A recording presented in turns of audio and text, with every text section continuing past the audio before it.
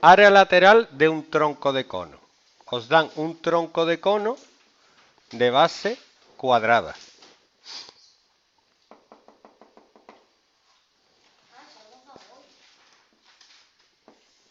Una cosa más o menos así. Y os dan que el lado de la base es 10, es un cuadrado, la tapa mide 6 en cada lado y os dicen que esta arista mide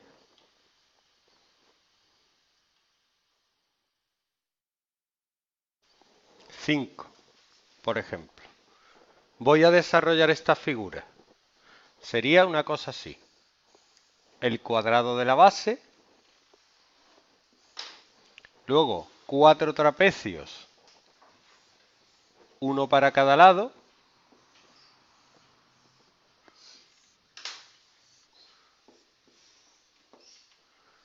Y la tapa.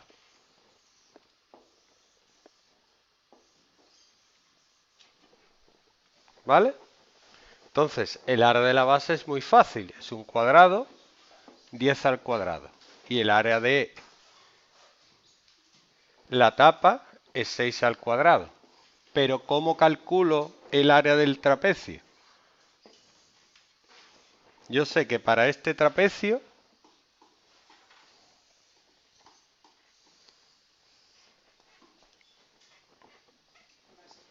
esto mide 10, esto mide 6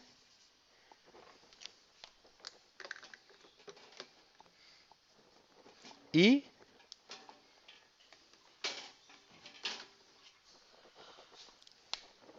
Esto mide 5.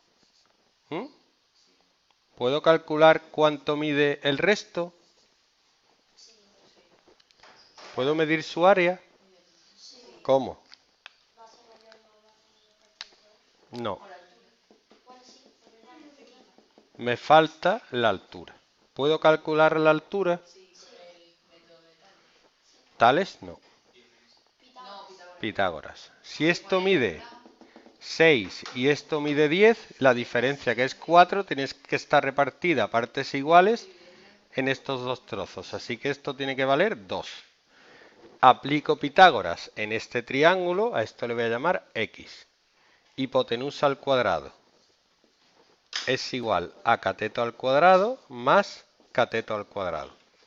25 tiene que ser igual a x cuadrado más 4.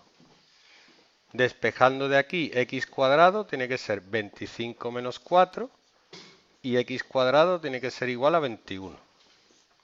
Raíz de 21, ¿cuánto es?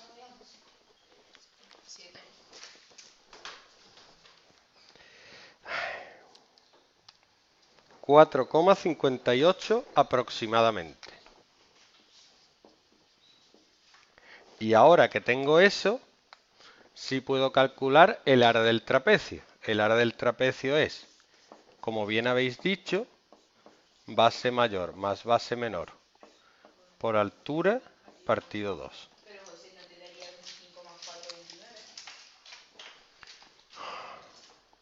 Transposición de términos más 4 pasa aquí restando. 21. Estamos calculando el cateto. Entonces el área del trapecio sería 10 más 6 por 4,58 partido 2.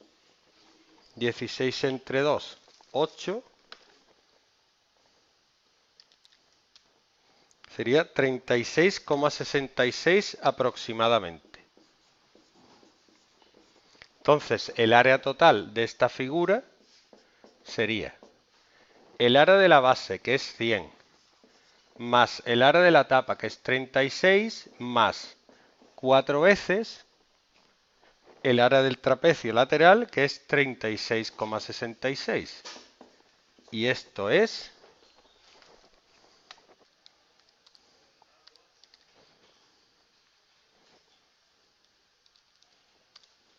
¿282 64, si son centímetros, centímetros cuadrados.